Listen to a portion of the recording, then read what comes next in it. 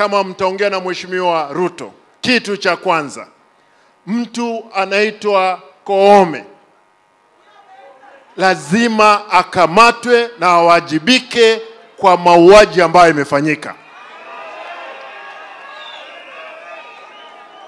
Pili, wacha niseme hivi, maongezi ambayo tutakuwa nayo ambayo it's progressive.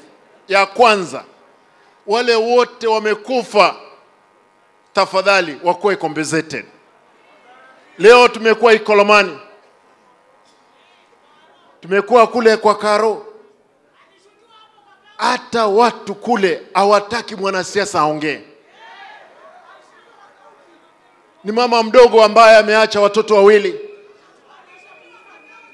mama yake amelia hapo, baba yake amelia, lakini nataka niseme hivi, haki lazima itendeke. Kando na wale waliokufa, baba, maongezi ambayo mtaweza kuwa nayo ni kwamba Mheshimiwa Ruto aachilie vijana wote ambao wako jera na wale wako na kesi kotini.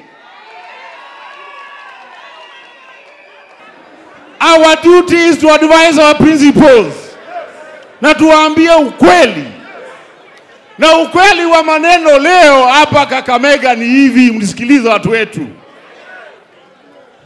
maneno ya dialogue tawe. Sasa nimesikia hapa, nimesikia hapa sasa